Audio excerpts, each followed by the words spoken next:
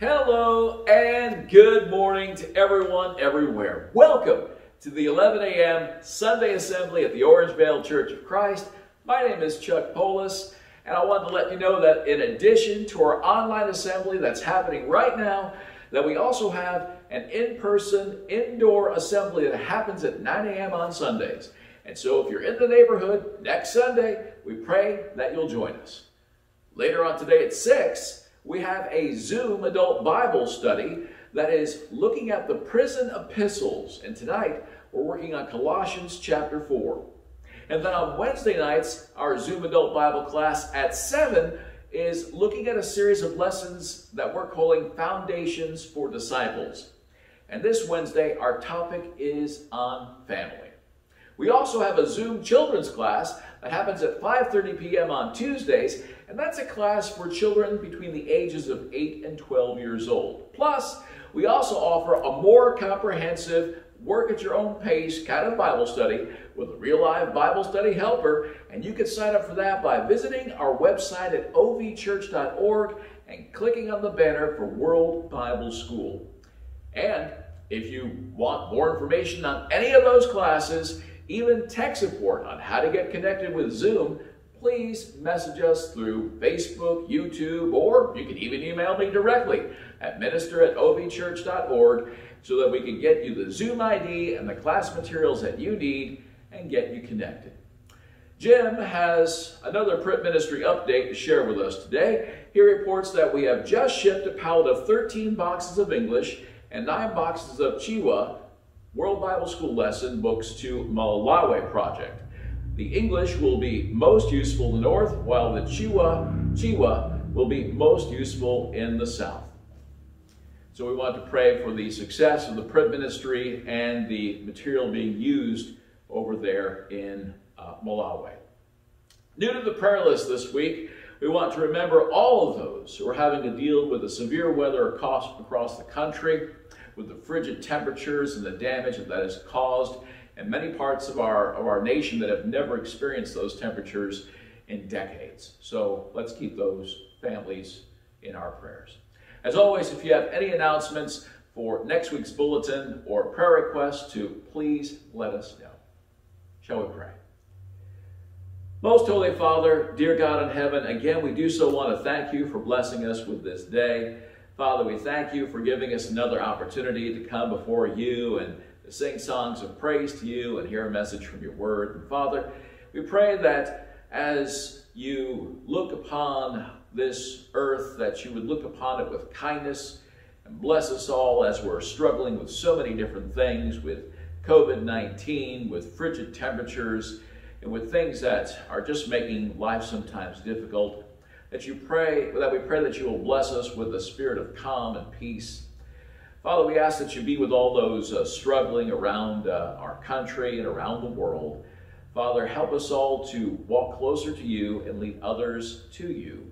In Jesus' name we pray. Amen. Good morning. Today's scripture reading is taken from the book of Deuteronomy. I'm reading from Deuteronomy 6, 4 through 9 from the International Version. Hear, O Israel, the Lord our God the Lord is one. Love the Lord your God with all your heart and with all your soul and with all your strength. These commandments that I give you today are to be upon your hearts. Impress them on your children. Talk about them when you sit at home and when you walk along the road, when you lie down and when you get up. Tie them as symbols on your hands and bind them on your foreheads. Write them on door frames of your houses and on your gates. Lord, children pray. Lord, send your spirit in this place. Lord, listen to your children praying. Send us love, send us power, send us grace. Lord, listen to your children praying. Lord, send your spirit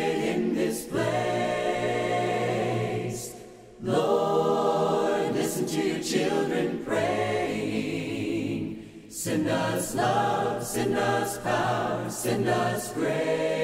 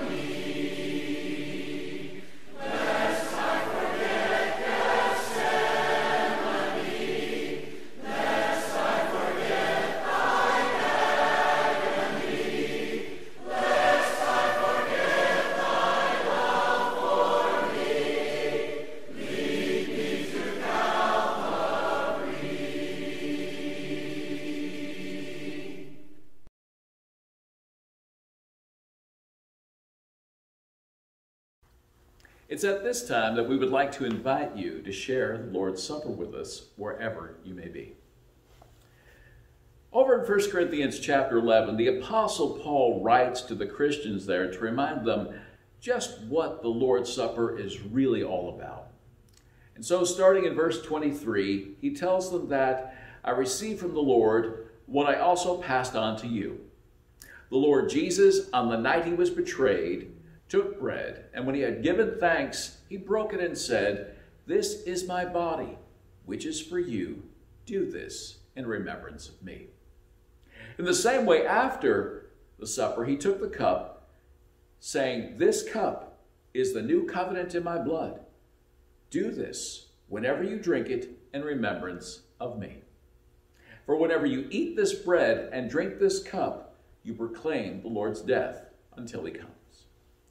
So let's take this time to remember Jesus' sacrifice for us in the bread and the cup.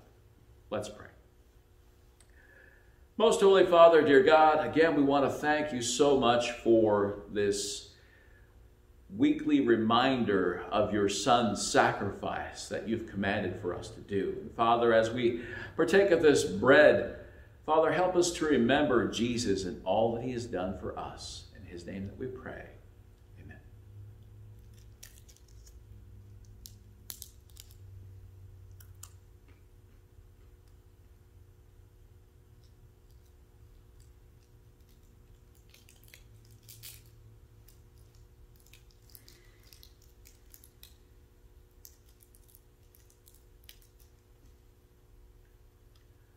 Let's continue in prayer.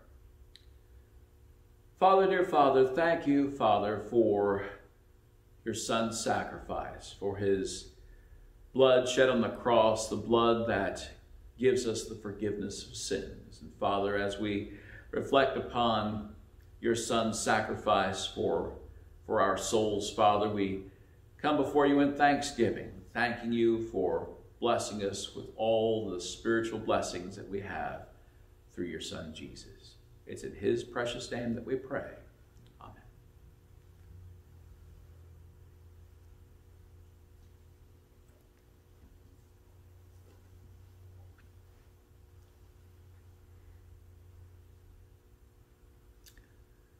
And that concludes the Lord's Supper, and it's at this time, out of a matter of convenience, that we take up the offering. Again, I want to thank all those who have either brought by or mailed in their support for the church here in Orangevale. May God continue to bless you as you have blessed others. If you did happen to turn over to 1 Corinthians chapter 11 and read that passage earlier about the Lord's Supper, I'd like to encourage you to flip on over to 1 Corinthians chapter 16 and read verses 1 and 2 with me. There, Paul writes, Now about the collection for God's people. Do what I told the Galatian churches to do. On the first day of every week, each one of you should set aside a sum of money in keeping with his income, saving it up so that when I come, no collections will have to be made. Now, here in these few verses, we see that it is the practice of the church to take up the collection on the first day of every week, on the Lord's Day, on Sunday. That's because that's when we're supposed to meet, right? And that every Christian is to set aside a sum of money based upon their income for the offering.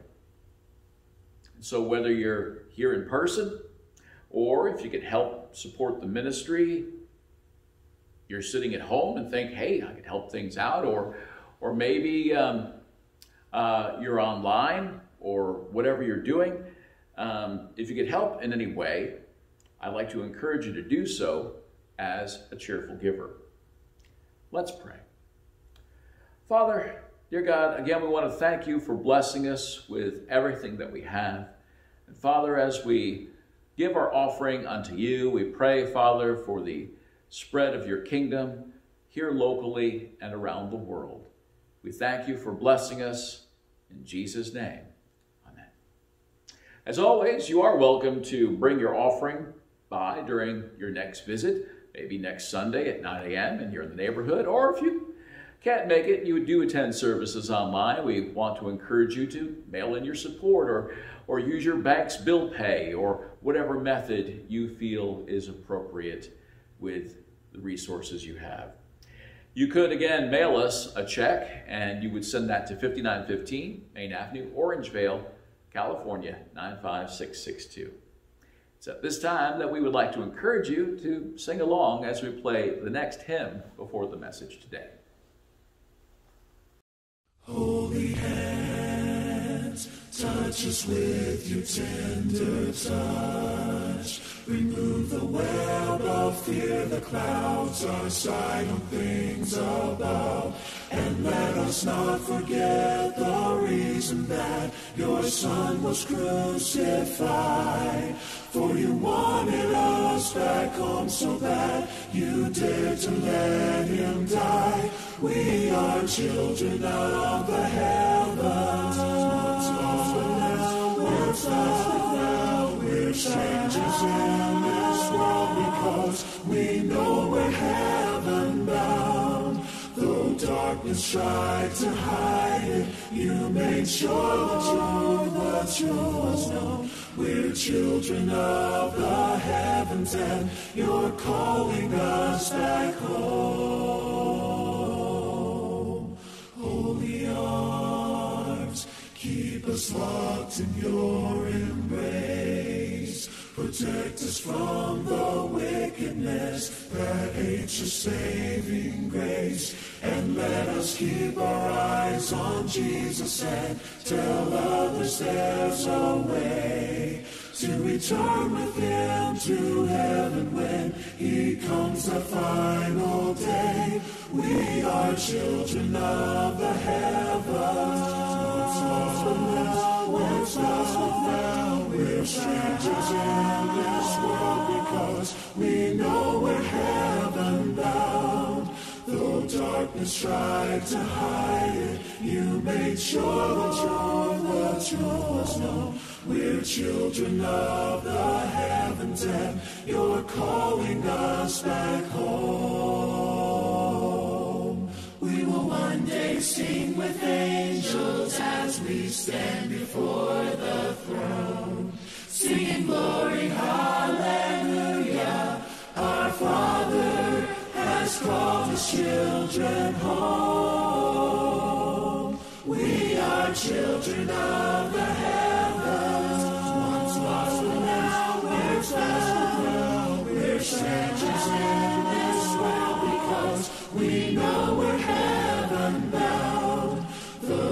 and strive to hide it. You made sure the truth was known. We're children of the heavens, and you're calling us back home.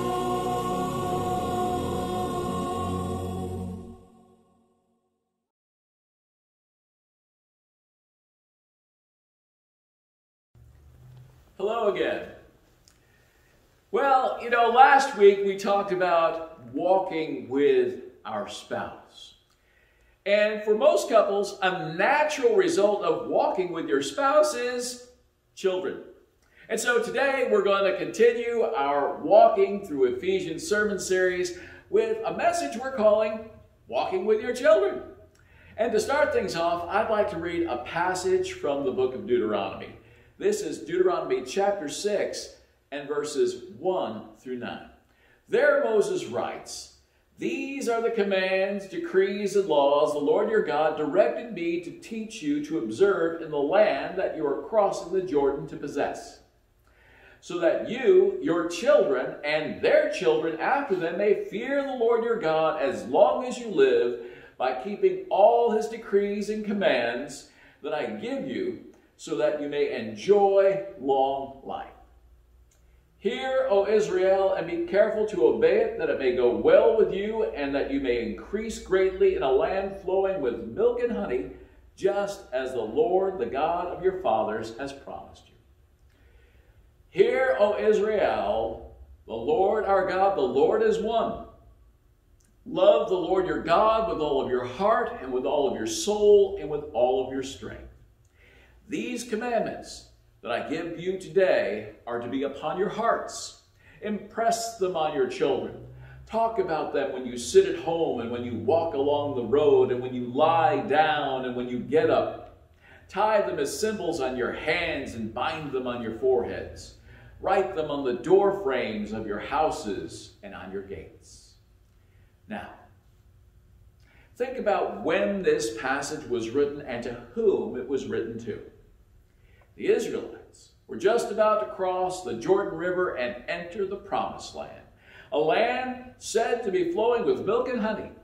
But it was also a land filled with many strange and dangerous people and ideas.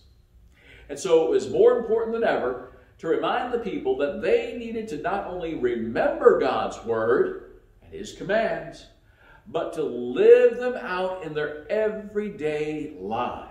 And that meant that if the nation was going to continue, then the parents of Israel's legacy needed to instill God's word in their children. And they were to do this not only by sharing God's teachings, but by living out God's teachings every day and in every way as examples for their children to follow. To talk about God's Word when you sit at home or when you walk along the road or when you lie down or when you get up.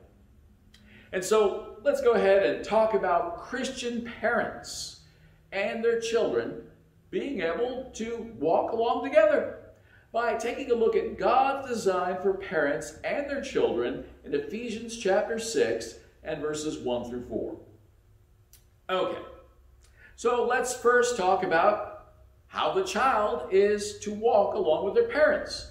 And we'll do that by reading Ephesians chapter 6 and verses 1 and 2. There we're told that children are to obey your parents in the Lord, for this is right. Honor your father and mother, which is the first commandment with a promise. And if you are familiar with the book of Colossians, there's a passage that's almost identical to this in Colossians chapter 3. And there in verse 20, we're told that children are to obey your parents in everything, for this pleases the Lord. Now, I know that we only have a few young people within our congregation here at Orangevale, but we can still pass this teaching on to our children so that it can help them out with our grandchildren, right? And possibly even our great grandchildren and generations to come. Just think about the world that we live in and what they're teaching the children now. You know, the truth is, it doesn't matter what the schools or the media or anyone else says. If any young person wants to be a Christian, then they need to do what God says. And if they choose to ignore God, then they're choosing to sin, to not live like a Christian. But again, the truth is only that God can save them from the judgment and hell. All the schools, their peers, and the media can't do that. But again, it's a choice that everyone has to make in their life. Okay, so thinking about children having to obey their parents. You know, one of the big issues are, are the rights of children. Don't children have any rights in this whole obey your parents thing? Well, sure, children have rights, but they also have responsibilities, like the responsibility to obey their parents. Okay, well, let's break that down a little bit from our text. Notice that there are two qualifiers to the command for children to obey in the Lord. And the first is that the command is given to children. In other words, while children are living under their parents' roof and they're supported by their parents, they are commanded to obey. But eventually, like Jesus teaches in Matthew 19 5, a time will come when a person will leave their father and mother. They'll go out on their own, you know? And it's at that time, when they're out on their own, that the obligation to obey no longer applies. That's because, you know, they're not under their parents' authority. They're not under their roof. They're still obliged to honor, though. But as long as they're living with their parents, well, hey, they're under their authority, and that means they're to obey. Okay, the second qualifier is the fact that the command given by the parents, the commands given by the parents are in the Lord, right? The command to obey given by the parents is in the Lord. In other words, children are obligated to obey their parents as long as that obedience will not cause the child to violate the teachings of God. And so if a parent tells their child to lie, cheat, or steal, then that child has the biblical right to resist and say no or, or not do it, you know. And so the way that the child is to walk is to walk in obedience. Of course, again, as the child grows into adulthood and, and moves out on their own, they're no longer obligated to obey their parents, but again, they're still commanded to honor their parents. And that honor is shown in things like appreciation, respect, and care. Again, the way that the child is to walk is in obedience. But what about how the parent is supposed to walk? Well, that's a fair enough question, right? Because we're walking along together. Well, the answer again is found in our main text. Let's go ahead and read Ephesians 6 and verses 1 through 4 all together. There we're told that children are to obey your parents in the Lord, for this is right. Honor your father and mother, which is the first commandment with a promise, that it may go well with you and that you may enjoy long life on the earth. Fathers, do not exasperate your children. Instead, bring them up in the training and instruction of the Lord. Now, you might be thinking you've got something good to say, right, Chuck, about all this? And, you know, I, I think I do, but I'll be honest, I, I don't exactly like what I'm going to say. And that's because I'm a parent and I know what it's like to have disobedient children. And I struggle with things just like every other parent. But one of the reasons that our children are disobedient is because their parents have failed to fulfill their God given responsibility in the parent child relationship.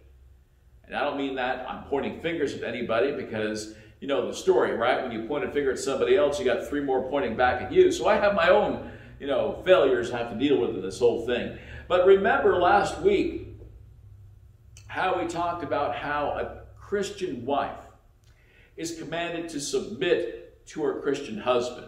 And we talked about how some people would think that's just not, you know, a, a right thing to do, you know, especially with the way the world thinks today. Well, we saw that the reason why a Christian wife can do that without question is because her Christian husband loves her just like Jesus loves the church. At least he's supposed to, right? And that makes it, you know, possible. for her to submit to him because he loves her so much. Well, our children will also find it easier to obey their parents when their parents have fulfilled their God given responsibilities to them. And the first parental responsibility is to be a Christian. And I know that sounds like a given, but there are a lot of parents, they're not Christians.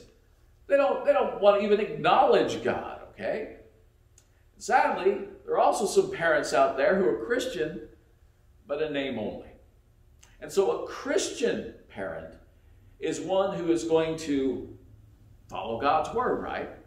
Follow God's word in all things and are going to show love, joy, peace, patience, kindness, goodness, faithfulness, gentleness, and uh, self control. Those are all the fruits of the Spirit, right?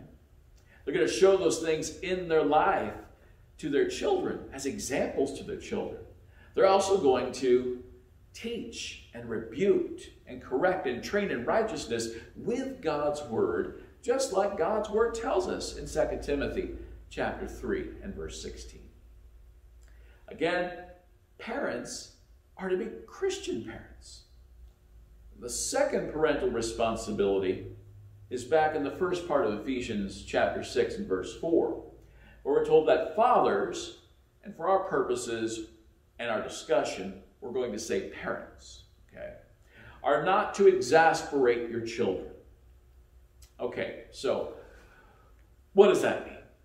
Well, it means, you know, to excite or to inflame with anger, you know, to, to cause irritation or annoyance. And so, practically, we're talking about parents not being harsh and unforgiving or unfair or mean spirited. We're talking about parents not ignoring or shaming or ridiculing or being manipulative. Think about it, you know, when a parent does those kinds of things, then they're exasperating their children. And that's not helping them, it's only pushing them to the edge, to the breaking point, to giving up, and sometimes, sadly, on life. And so, if a parent is not to do any of that, then what's a parent to do? Well, the rest of Ephesians chapter 6 and verse 4 tells us to instead bring them up in the training and instruction of the Lord. And like we said a few minutes ago, that, that involves teaching, rebuking, correcting, and training in righteousness. To teach them the facts about the Lord from His Word. Facts like how God is holy and just and all powerful and all knowing and all present. About how, how much God loves them and, and what God expects from them. To to love and to serve with all their heart, mind, soul, and strength, to love their neighbor as their self. And while Christian parents are to teach their children these truths so much more. You remember again back in Deuteronomy chapter 6 and verses 6 and 7, we're told that these commandments I give you today are to be upon your hearts. Impress them on your children. Talk about them when you sit at home and when you walk along the road and when you lie down and when you get up. In other words, in everything you do, right?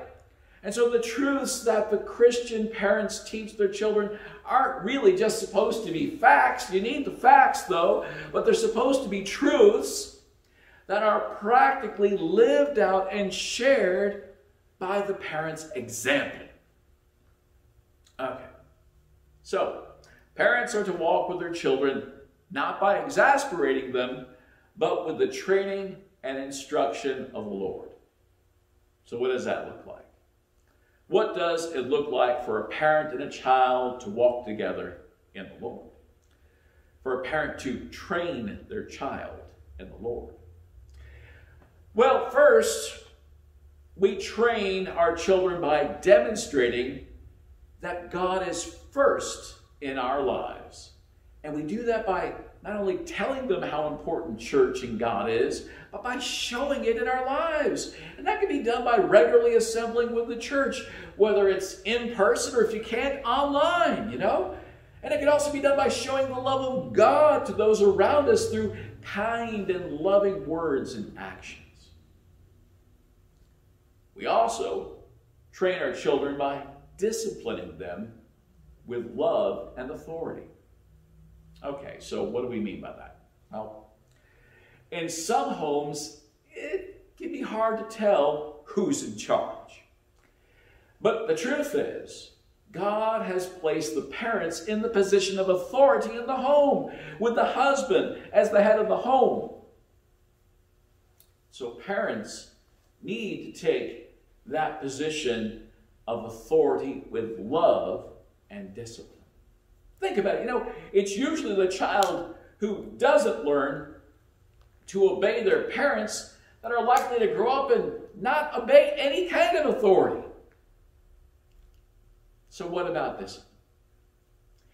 Well, I, I remember coming across a meme not too long ago that said discipline begins in the playpen, not in the state pen. The point being that there is a general lack of, res, of, of, of there's a general lack of discipline and respect for authority among the youth of our nation. And that's why it's ever so important to teach our children the right way, God's way, in our homes, so they can be a light in the darkness rather than be a part of the darkness. Third, we train our children by teaching them the principle of sowing and reaping. Galatians chapter 6 and verse 7 tells us to not be deceived. God cannot be mocked. A man reaps what he sows. The point being that we need to allow our children to suffer the consequences of their own mistakes. You know, we can't helicopter them and protect them from everything and bail them out from every mistake they've ever made. They need to experience the pain and the discomfort themselves for the wrong actions they've made. And that's so that they'll learn what not to do and that there are consequences for doing bad things. At the same time, we need to encourage them to work and to earn things for themselves, to find joy and reward in accomplishing things for themselves. And that's so that they can one day become self sufficient and take care of themselves and to be a blessing to others rather than a burden. Just one more for today, and that is that we train our children by discipleship. In other words, by being the mentor, by being the guide, by being the counselor that they need in order to succeed in life. Just think about Jesus and his disciples. He just didn't say, Yeah, go read the Torah and get back to me later. No, right? Yeah, sure, Jesus was their master and Lord, but he walked with them, right? Training and advising them together, guiding and leading them, instructing and counseling them, answering all of their questions, you know? And that is exactly what a Christian parent needs to do to walk with their children, to disciple them, to train them in the way that they should go so that they will not depart from it. Again, walking with your children means that children need to obey their parents in the Lord while they're young and to honor their parents always, especially when they're older. And it means that parents are to not exasperate their children, but to train and instruct them in the ways of the Lord, just like the Lord. With the commandments of God on your hearts, impressing them on your children ah, as you talk.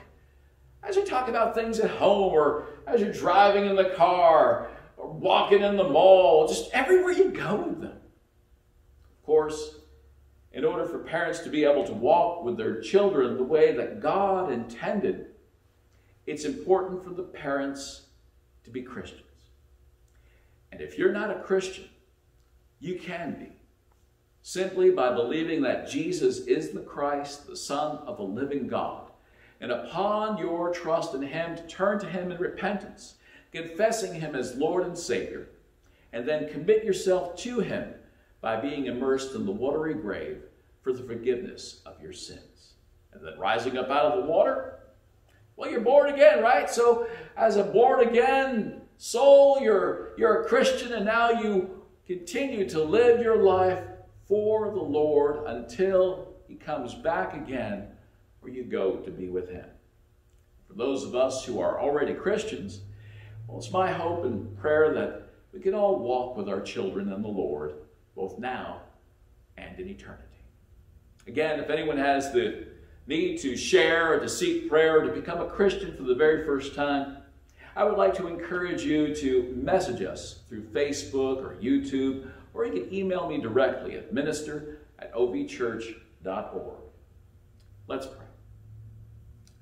Most Holy Father, dear God, again, we thank you for your word. We thank you for your instructions. We thank you for the examples that you've given us in your word, especially that of your Son, Jesus. And Father, as a people discipling our children, Father, we pray that you'll help us to be good Christian parents and help us as children to be good, obedient children, honoring our parents always. Father, we thank you and pray that You'll help us to be good children of yours, honoring you and obeying you always. In Jesus' name we pray. Amen.